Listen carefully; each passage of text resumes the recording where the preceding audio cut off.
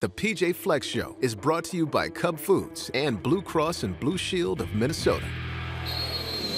It's the PJ Fleck Show with Hobie Artigue, Ron Johnson, and Justin Gaard.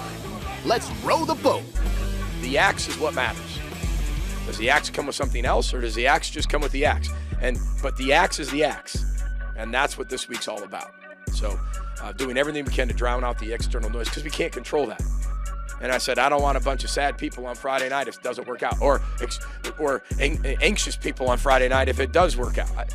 That's not what we want. We want to eliminate that distraction. So our constant focus, right, is going to be on Wisconsin, where it should be, Well, it's the final regular season edition of the PJ Fleck Show, and oh boy, it is a big one with Paul Bunyan's axe on the line on Saturday. Along with Gophers head coach PJ Fleck, welcome to the PJ Fleck Show with Ron Johnson, KFAN's Justin Gaard. I'm Hobie Artigue, and coach, the final week of the regular season, you're still in the hunt for a trip to the Big Ten Championship game. And oh, by the way, you're playing your arch rival in the last game of the year. I know it's exciting for fans and all the build up for this, but there's a lot of work to go into it. However, do weeks like this get any more exciting for you?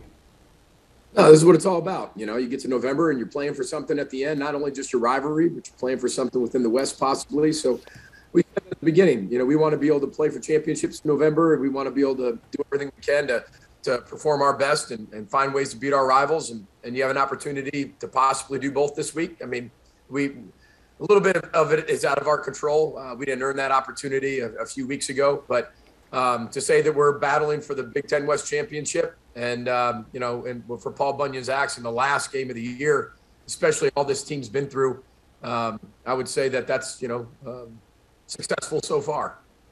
Yeah, Coach, when you look at Mo Ibrahim, I was able, I was blessed. A lot of people don't get a chance to get on the team plane, go to the hotel. I got to watch him, and I'm a big person about body language, uh, just facial expressions. I could tell that that was a kid that enjoyed being on those trips, that enjoyed being around his teammates. And then, then he announces he's back for 2022. What does that mean to the team to have a, the, you know, basically the number one running back in the Big Ten coming back for next year?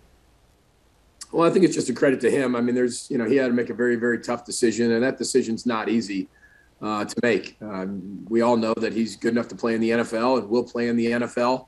I think it was very important to him to be able to finish up his career, uh, something very positive. And nothing's ever guar- guaranteed, but he had one half of football. But boy, it was a heck of a half, wasn't it? And he's a very special person.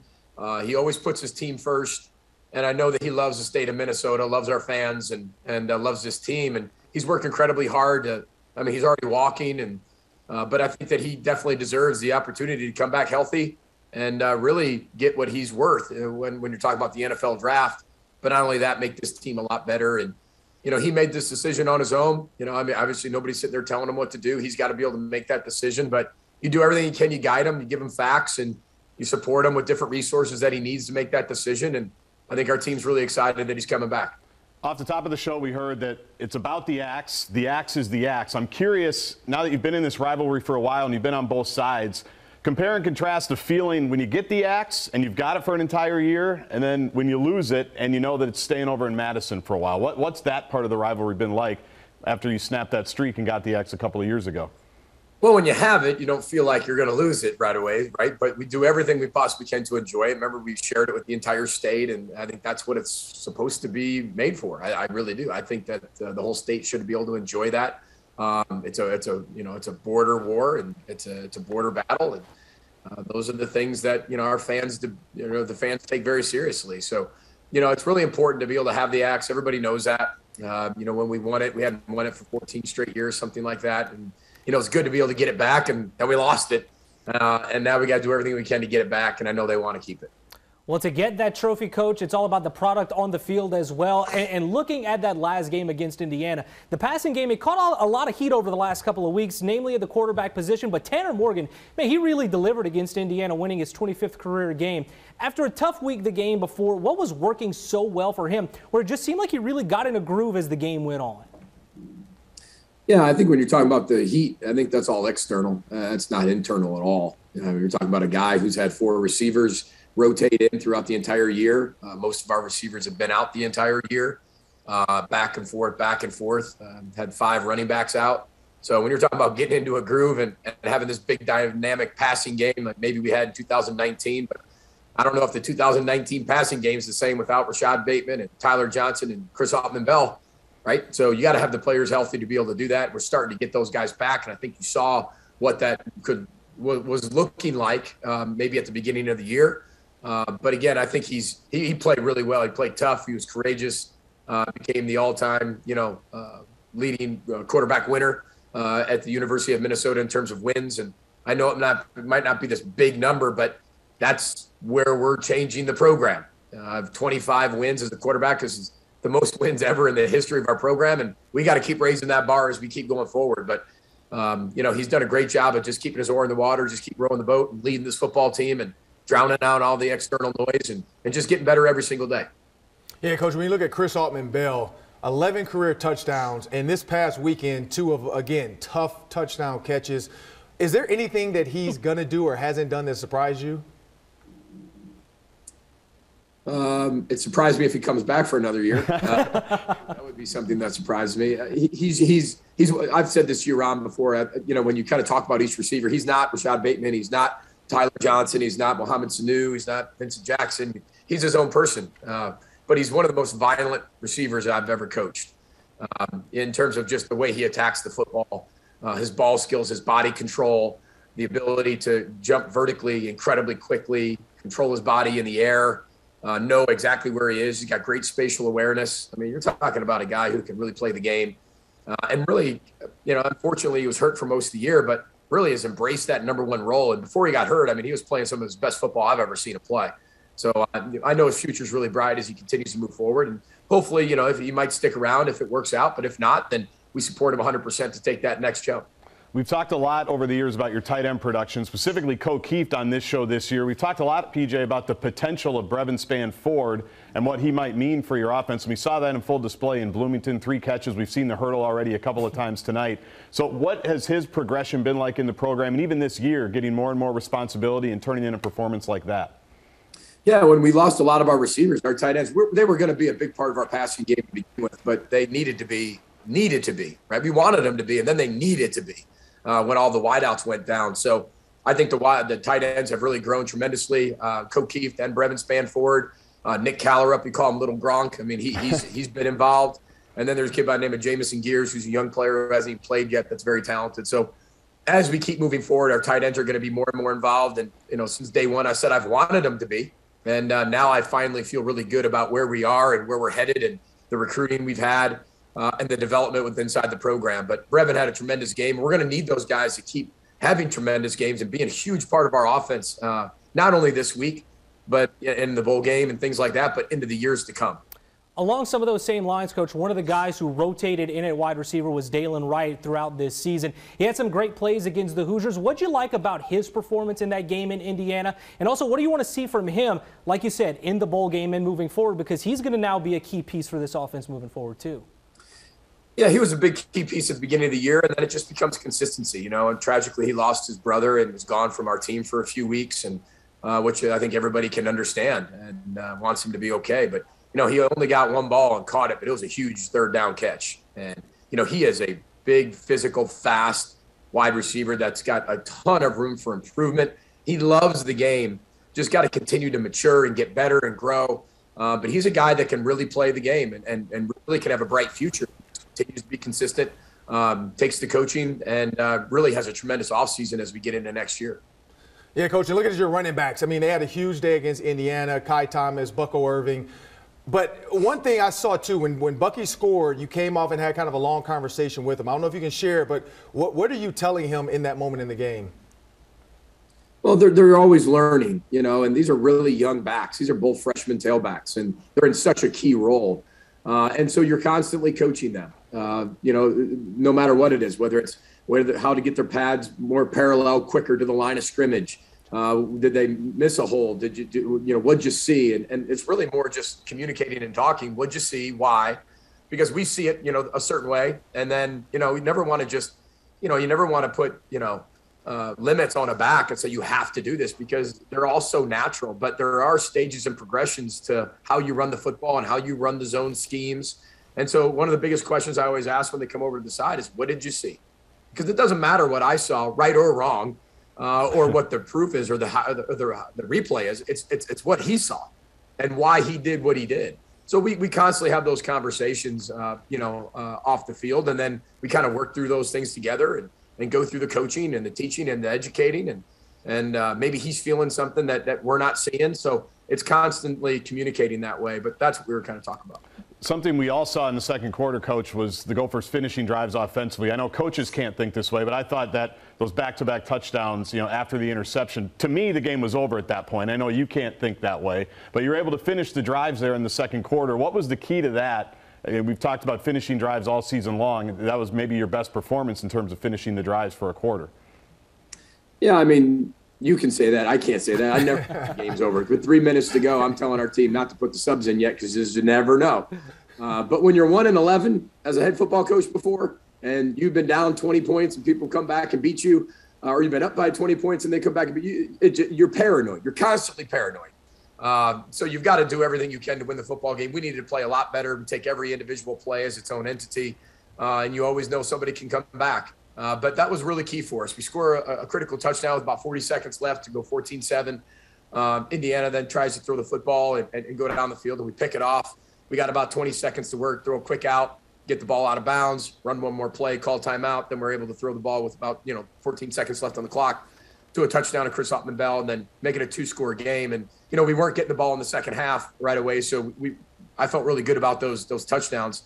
Um, or getting points. I mean, we were going to get either a field goal or a touchdown. If, I mean, if Chris doesn't catch that, we're going to run the ball and then kick a field goal. So um, we were either going to be up 21 7 or, or 17 7. And that was hopefully the plan if we made the field goal. Coach, looking at your defense against the Hoosiers, Indiana, I believe, had 85 rushing yards to start off the game on that opening drive. A nice long drive that ended in uh, points. But after that, you guys really shut down everything that the Hoosiers threw your way. What changes were made that kind of allowed the defense to really settle down and shut down Indiana's offense from there on out? Yeah, usually, you know, you have an opening script, um, and most teams do, of about 12 to 15 plays that you kind of go in order because you kind of know what you're going to get. Uh, and it's also some things that maybe you have some wrinkles here and there. Uh, and you're going to see what people are doing formationally and see how they're going to play you. Um, you know, Indiana came out and we didn't know which quarterback was going to play. They have four quarterbacks. And two of the quarterbacks are very similar. Two of the quarterbacks are very similar on, on an opposite end of the spectrum in a different way. And so we made two different game plans. And when they came out number zero, we had the number zero game plan. But then when they came out number zero, they did so many things that we had never seen on film.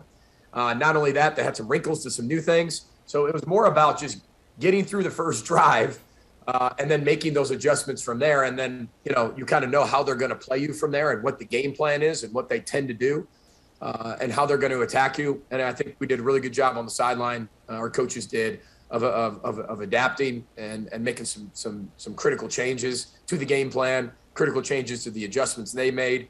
And then uh, we're able to settle down.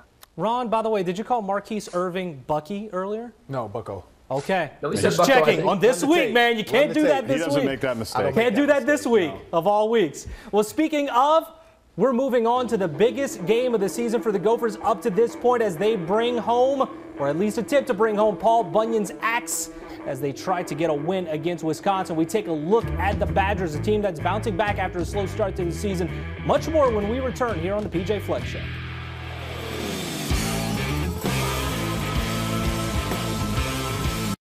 Let's row the boat. You're watching the PJ Fleck Show. Welcome back to the PJ Fleck Show, along with Gophers head coach PJ Fleck, Ron Johnson, and Justin Gaard. I'm Hobie Artigue, and Coach Wisconsin started off the season kind of on a roller coaster, one and three to open up the year against some top 25 teams, a lot of talent that they were facing, but they've really seemed to kind of find their identity as of late. Seven straight wins. What's changed for them from what you've seen over the course of this season? Well, I think when you look at the beginning of their their their, their season, their schedule was brutal. You're talking about top 25 teams right out of the gate. Every game was really close. Every game came down to one possession. Could have went either way. I mean, this this truly could be an 11 and 0 Wisconsin football team ranked in the college football playoff as number you know one through four. They're that good. They're that good on defense. Uh, they've got a running back that's about 6'2", 242 pounds that yeah, can really fly and run too. Uh, he's only 17 years old, and they started playing him somewhere around the Michigan game uh, had some backs injured, but they, they just they just continue to reload. I mean, it's a Wisconsin team that's probably one of the most balanced teams that, that I've seen since I've been here, offense, defense, and special teams. And there he is, uh, right on cue. And uh, that's what he does. He's hard to bring down. He's hard to tackle. Then you throw in their really massive offensive line, who's really good. Throw in their tight end, who's really talented, who's all American material. Quarterback who's incredibly accurate, wideouts down the field that can play, and oh yeah, top two defense in the country. Yeah, coach, you talked about him there, Braylon Allen. What, how do you plan to stop a guy like that that's averaging 7.9 yards per carry, which leads the NCAA, um, and, and just his size? And you said it. What, what he's a tough runner. What makes him tough, but then or it's tough to stop? But then how do you counter that? I mean, he's 240 pounds running at you really fast. And he's got elusive feet. Uh, he can move sideways uh, shockingly uh, effortlessly. I mean, it, it's unbelievable to see somebody that big move that fast and that fluid. It just doesn't look common. You know, it doesn't look it doesn't look natural uh, or normal, I should say. It looks natural. Yeah. Like it just it, you wouldn't think he's that big. Uh, his offensive line does a great job opening holes for him, but if they're not open, he finds a great way of creating the hole. Not only that, he presses his blocks so well. I mean, he, he, he can run right to the heels of an offensive lineman, make a sidestep, cut, and then get vertical so quickly. I mean, it's you would think that he makes moves and runs like he's five nine or five ten and maybe 200 pounds, uh, but to do that at that size, uh, that is that's special. Everybody, special. So we got to work it out for us. We got a game plan and we got to do everything we can to game, uh, execute that game plan on Saturday. Early in the season, the Badgers were giving up sacks. They were also turning the ball over, specifically in the passing game. That's changed here the last seven or eight weeks as well. So, how have you seen, as you've gone back and I assume watched a lot of that, their passing game kind of develop as the season's gone on? Well, I think their pass game's developed a little bit more because the running game is is a lot more consistent. Uh, you look at the beginning of the year, running backs were getting hurt left and right. Uh, and it was just a little inconsistent. Then they threw the ball a little bit more, and maybe were inconsistent early throwing the ball because uh, they got away from a little bit more of what they really do in the run game. Um, and next thing you know, um, here comes number zero, and they get right back to running the football, get right back into the play action pass game, get right back into completion percentages, and and they're actually better now than they were probably to start the beginning of the year. And they're a really good football team, well coached, uh, very disciplined. And again, we have to be at our best on Saturday. You touched on their defense a little bit, Coach. mentioned their run defense and also their scoring defense, both top in the NCAA right now. But last week, Nebraska found a way to score 28 points. That's something that the Badgers had not allowed in many of their games before that on this winning streak that they have right now. How closely is your team watching that game in particular to kind of look for some open opportunities that the Huskers were able to execute on? Well, I think you got to look at the game to know how they scored the 28 points, right? Um, you got to look at how they did that. Um, there's a lot of times there was. Um, you know, it was the second play. Uh, it was extension of the play. It was a scramble that, that went to an explosive play. Uh, I thought Nebraska ran the ball uh, pretty well, uh, but it was uh, it, it, was some other things like the second play, scrambling, getting the ball down the field, um, which again you've got to be really good at too. Uh, Wisconsin forces you to be able to you know be incredibly efficient, but they gave up some plays down the field that were some cross, cross country routes and some some deep play actions and. Um, but again, that was probably a team that right uh, did the best job uh, against them all year in that category. All right. Well, still much more to come here on the PJ Fleck Show. Thanksgiving weekend usually means the axe, but it's much bigger than what goes on on the field as well for the Gophers. The Gophers getting out to do a yearly tradition of service with their Row the Boat Turkey Drive. We'll chat about that and much more when we return here on the PJ Fleck Show.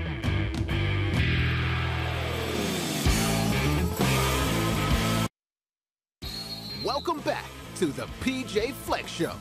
Let's row the boat. Coach, it's no secret that you have a unique approach to coaching in college football. And one thing that's very different is you have bedtime story time with players before the game. Guess where'd you come up with that idea? And, and you've said it before, there's always a message in kids' books. So how do you go about picking different ones throughout the season to make sure the message is getting through?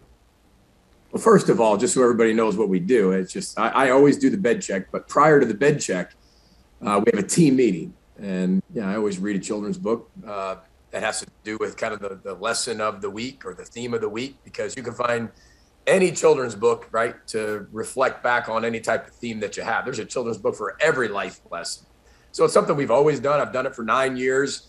it kind of gives a little bit of a light mood to kind of tense situations and and uh, really just kind of brings the whole you know theme of the week you know into focus through a very simplistic book uh, and that's it and then you know, check them into bed and, and then they go but it's not like i go to every room and read a book it's, uh, we have, we have a, it's a team it's a team meeting it's a team thing. usually i adapt the children's book a little bit here and there i I uh, change the narrative a little bit here and there to make it fit our team. Uh, been known to do that. Uh, so uh, maybe write on the book, change the title of the book, make some notes inside the book, and rewrite some of them. So uh, to make it all fit. But uh, I think it's something the players always look forward to, and they always try to guess the book and, and guess what's going to happen. And but again, you, you gotta you gotta have fun while you're doing this and smile and and uh, there's always times to teach life lessons for sure. Yeah, co- I, I had propped my door open, so I was waiting for you to come check on my bed, but you didn't check. So uh, the roll the boat turkey. You weren't in there. I checked. There's no bed check for Ron, no curfew. The, the roll the boat turkey drive was back on this year, and you were giving away turkeys to those in need. I mean, why do you continue to do this, and what, what do you think this means to the team and to the players, uh, you know, with this experience, especially this year? Yeah, I mean, uh, winning, losing aside, I mean, results aside, this is this program is serving and giving. Um, it was about creating winners, and um, you know, gave away around 300 turkeys and Thanksgiving Day meals yesterday, and um, you know, we have a lot of players who who live a life of uh, philanthropy already, and if they aren't or they haven't, uh, we want to be able to open those opportunities up for them to just spread positivity. I mean, think about that. To spread positivity, put a smile on people's faces, uh, change lives, make sure everybody can have a a, a safe and positive and, and fun and memorable Thanksgiving. That's what this thing's all about. You know, we live in a pretty negative world outside when you step outside, um, and we're in a pretty rough time in, in our country. And uh, but if we can spread some hope, some cheer, some positivity, then uh, everything's worth it. Uh, Wilson, uh, who's a former Gopher and, and on our staff of player development, does a great job, uh, you know, running that for us, and just really proud of our players for their efforts last night. All right, coach. Happy Thanksgiving and best of luck against the Badgers.